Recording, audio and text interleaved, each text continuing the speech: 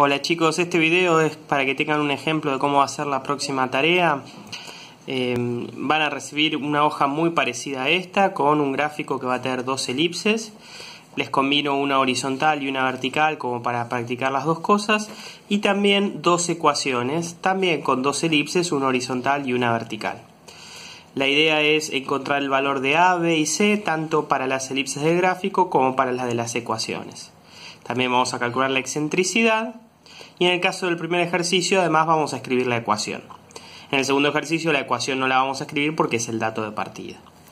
También van a tener en la hoja, por si tienen la suerte de tener impresora, un par de ejes, ¿sí? si quieren imprimen directamente la hoja de la tarea y van a poder eh, hacer el dibujo acá. El dibujo es esquemático, no va a ser un dibujo perfecto, lo que sí van a ver cómo lo voy a hacer, vamos a tratar de respetar las medidas. En la misma hoja, en la parte de abajo, van a tener eh, como una especie de resumen de las cosas que aparecen en el apunte y en el video de la explicación. Les recomiendo que vean y lean el apunte. ¿sí? Eh, tienen un par de ecuaciones que no es necesario que aprendan de memoria, sino que simplemente las podemos usar. ¿sí?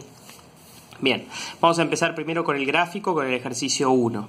Vamos a empezar con el ítem A, que es la elipse que está escrita acá. ¿sí? Lo primero que vamos a hacer es tratar de ver qué medidas se pueden ver del gráfico. Cuando digo qué medidas, ¿sí? Eh, me refiero a, dentro de las tres posibilidades, A, B y C, ver cuáles podemos exactamente sacar del gráfico.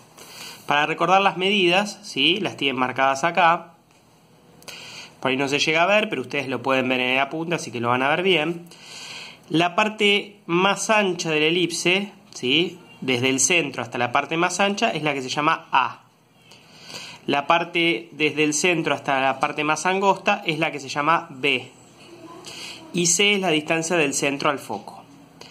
En el gráfico, dos de esas tres medidas se tienen que poder ver y van a ser exactas. Una de ellas, por ahí se ve, pero no es exactamente un número entero, sino que es un número con coma, esa la calcularemos. Por ejemplo, vamos al ítem A. ¿Sí? Veo la posición de los focos, los dos focos están marcados, así que la distancia del centro al foco la conozco, esa era la que se llama C. ¿Cuánto mide acá la distancia desde el centro, desde el cero hasta el foco? Fíjense que el foco está justo en 2, así que la distancia del centro al foco, es decir, C, vale 2. ¿Sí? En el ítem A, C vale 2. La otra cosa que podemos ver es la distancia desde el centro hasta la parte más angostita. Esa es justo exacta. Fíjense, desde el 0 hasta la parte más angosta, justo la parte angosta donde corta. Corta en el 1. Así que esta distancia, B, vale 1. A la podemos llegar a ver, pero no es un valor exacto. Fíjense que A está un poquitito después del foco. A que es desde el centro hasta la parte más ancha, y vale entre 2 y 3. 2,2, 2,3, 2,1, exactamente no sabemos cuánto vale, pero está por ahí. Entonces, como A no es un valor exacto, entero, A lo vamos a dejar como una incógnita. ¿Sí? Bien, entonces, la primera parte es mirar el gráfico y obtener dos de las tres medidas. A veces puede ser que lo que puedan llegar a sacar es A y B, a veces lo que pueden llegar, es, llegar a sacar es B y C, a veces pueden sacar eh, C y A. ¿sí? La cuestión es que siempre van a poder sacar dos. Y va a haber una, que en nuestro caso acá fue A, que no es exacta, no es entera, así que esa la vamos a calcular. ¿Cómo? Haciendo lo siguiente. Ustedes tienen las medidas que sacaron del gráfico. Bueno, las que conocen las elevan al cuadrado, es decir, agarro C y la elevo al cuadrado. Es decir, 2 por 2 en este ejemplo. Me da 4. B, que la conozco, la elevo al cuadrado. B vale justo 1, así que al elevar al cuadrado da 1, porque 1 por 1 da 1.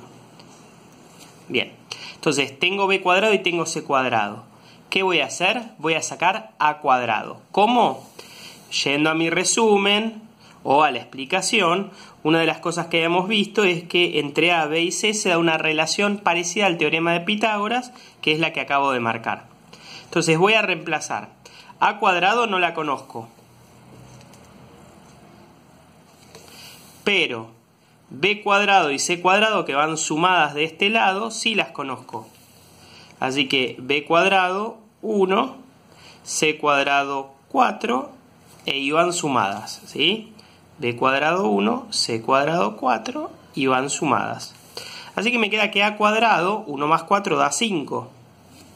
Entonces, si yo quiero despejar el valor de a, el cuadrado pasa como raíz. Y me queda la raíz de 5. Voy a la calculadora, hago raíz de 5 y me da que A vale 2,23. Obtuve el valor de A. ¿sí? Entonces acá donde antes no lo teníamos, vamos a poner A 2,23. Lo calculamos.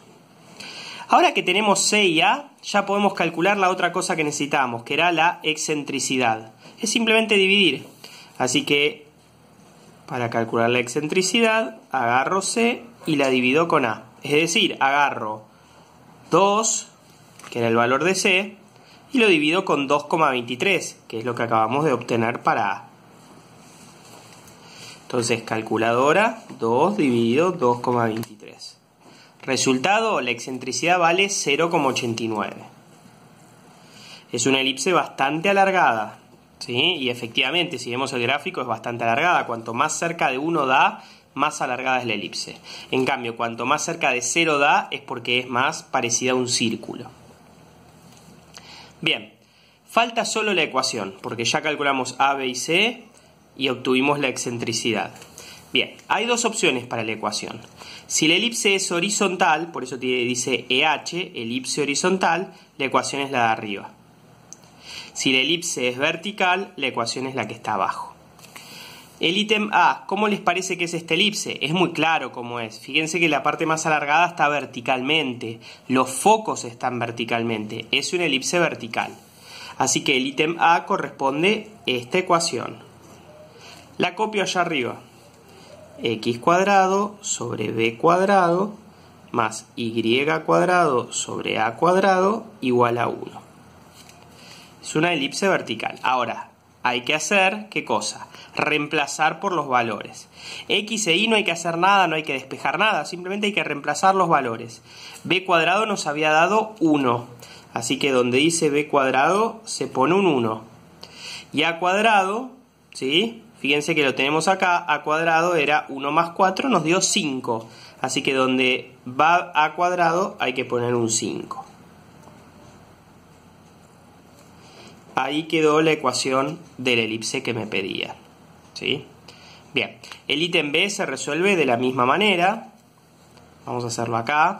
Vamos a hacerlo un poco más rápido. Me voy a fijar qué medidas puedo sacar de la elipse B.